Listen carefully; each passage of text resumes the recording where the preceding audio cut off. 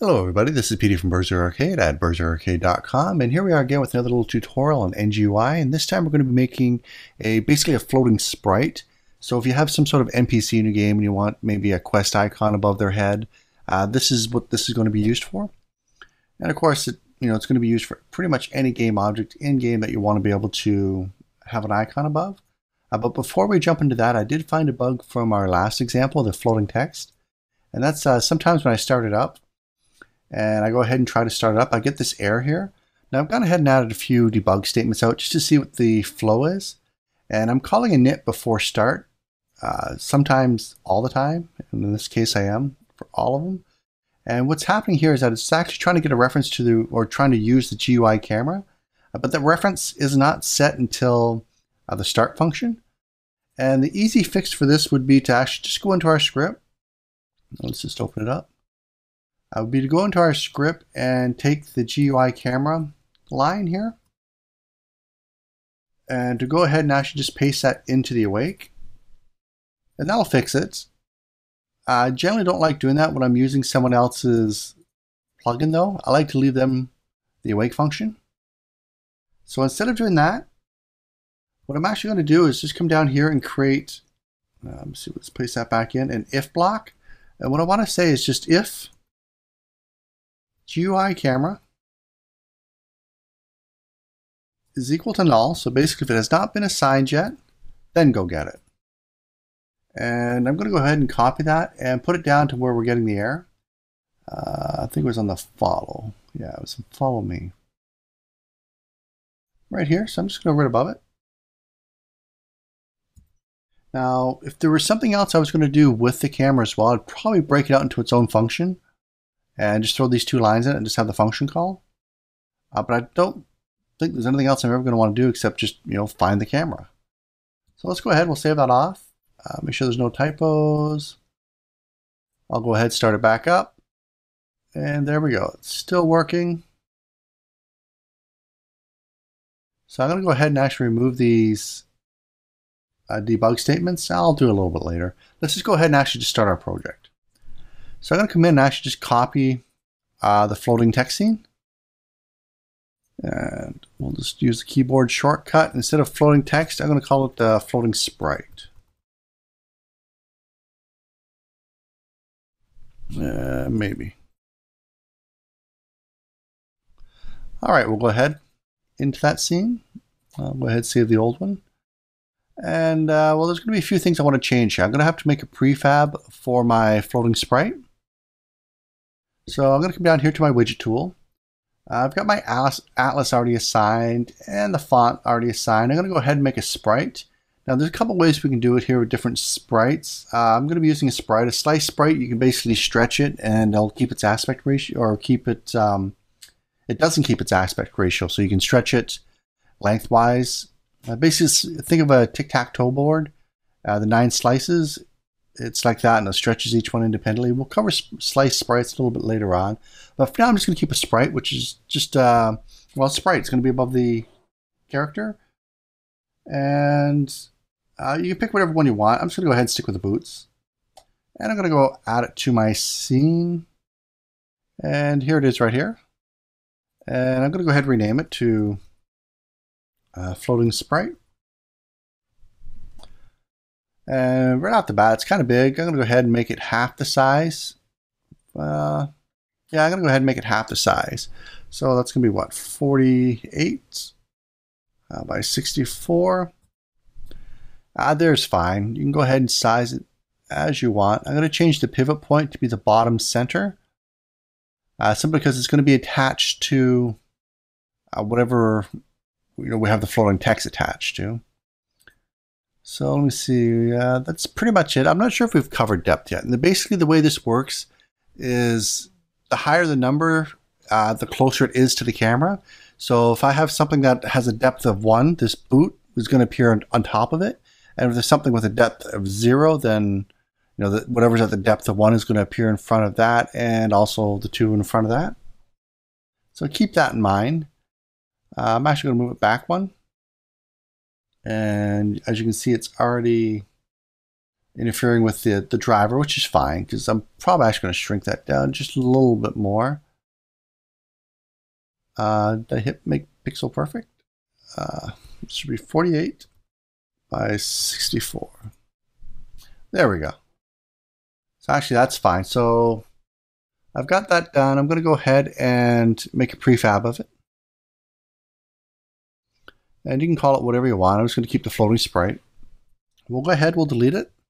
And I'm going to go ahead, and click on the driver here, and I'm going to want to change a few of the names. So we got floating text driver.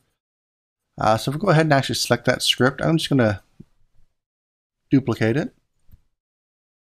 And then of course we're going to have to rename it. So we're going to call it floating sprite driver.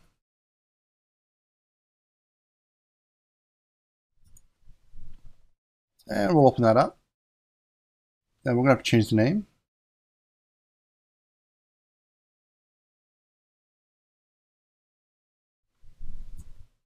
And we'll save that off. Uh, just make sure it's right here now. Uh, let's go ahead and remove it.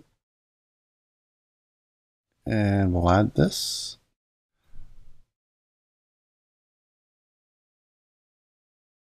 Then we'll go ahead and we'll set the prefabs up. So target was this. Uh, the prefab is the floating sprite, which is actually looking for floating text. Uh, so we're going to have to go ahead and switch this here. So floating text, we'll go ahead, we'll duplicate that and call it floating sprite. Now the reason why I'm just duplicating is I want to show how we're going to refactor it later and pretty much these classes have the exact same components so there's going to be a lot of stuff that we can take out. So we'll go ahead, we'll open this up, we'll have to rename it. And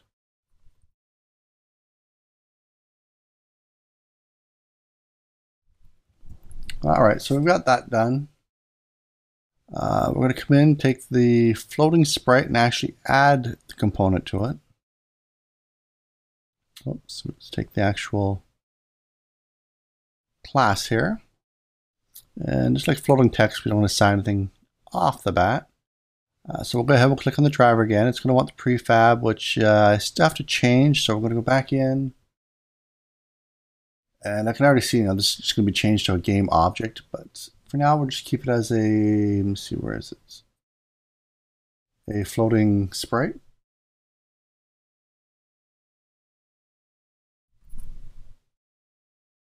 And we'll head back in, that'll change it. And we'll just go ahead, we'll drag this on. Uh, the font, uh, we're not going to need the font now because it's actually a sprite. And the parent, we do need the parent. And of course, we could just grab the parent of this, but uh, it doesn't really matter how you get it in the driver. Uh, so we'll go ahead, we'll save this off, and I'm going to go get rid of the font.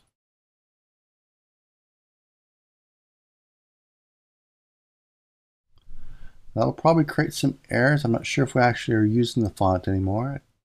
It doesn't look like it.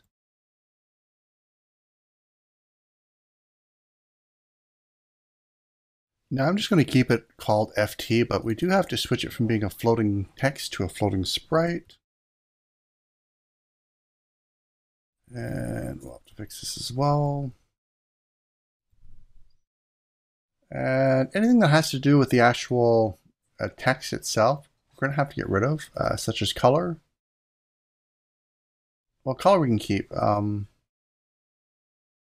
the string here we're going to have to change. So let's go actually go through and take a look at all the methods uh, that we've had before. And well, we'll close this one for now. And just start chopping up the stuff that we don't need. So here we are. We're in our floating sprite script. And let's just take it from the top.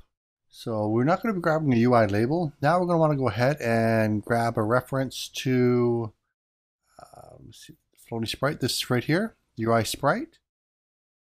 So just keep things simple, I'm going to keep the same variable name. Well, actually, no, we'll just refactor it. Uh, so we want a UI sprite. And instead of calling it LBL, I'm going to rename it to underscore sprite. And we'll go ahead and save that off. So the next up is follow target. I'm not sure why we have it as public. Uh, we should put a setter and getter for that. If not, we'll do it when we refactor. But for now, we'll just leave that. Uh, we still need the vector 3 pos to know what position it's supposed to be in. Uh, we still need to know the camera target, uh, the target to follow, which again should be private. Uh, we'll get it again when we're refactoring. Now, I just want to make sure the variables that we have are ones that we actually need. So all those right, we still want to cache our transform. We're going to come down to the awake function. I'm just going to leave the debugs in for now. Uh, yep, we want to cache our transform. Uh, the get component, we don't want a UI label anymore. We want a UI sprite. And when we go to refactor it, we'll have to take a look. I believe they both inherit from UI widget. I'll have to check just to make sure. Uh, but when we refactor, we'll look that up. So I'm going to check here to see if uh, we have a sprite. Uh, just quickly change this. Uh,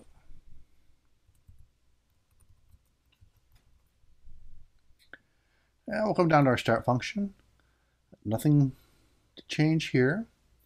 Uh, text color. Uh, I think we actually just changed that to color. Uh, we're going to leave the exact same function name though. We can change that when we refactor. Text we don't need, so let's get rid of that. Follow targets. Uh, yep. So we did actually have a public setter and getter. And we have a public up here. Okay, well, we should be moving it to private. But like I said, we're going to be refactoring it soon anyway, so let's just leave it. Uh, so we have follow target. Uh, the target, nothing to change there. Uh, font, well, we're not dealing with fonts anymore. Size will be the same. Uh, tween position, I don't think I'm going to need to tween the position, but I'm going to leave it there just just for now because when we refactor, we might want to have tweening automatically built in, and we might even want to add more tweening as we go along. So we'll just leave that. Uh, the init's going to be completely, well, not completely different. Uh, well, we're not going to have a string for text. Uh, we're still allowed to change the color and send in the target.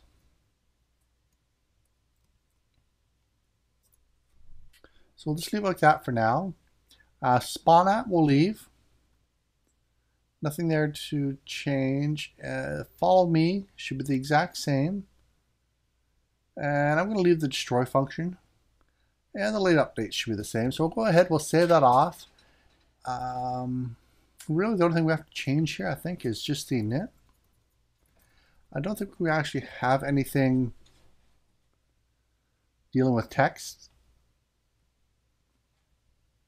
Uh, so let's go ahead, we'll save this. Let's go back into Unity, see if we have any errors.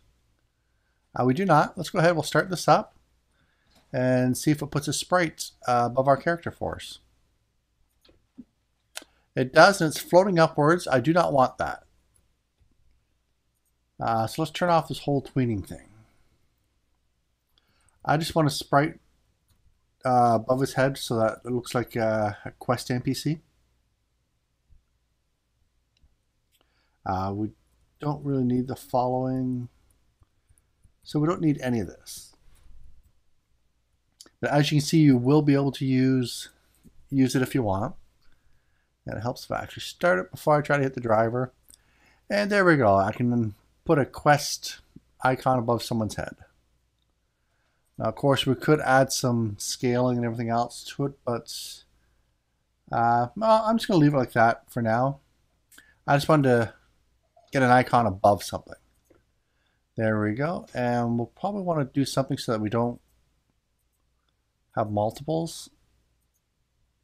Then again, you might actually want multiples above someone's head. So for now, we're just going to leave it like that. Uh, we got an icon above someone.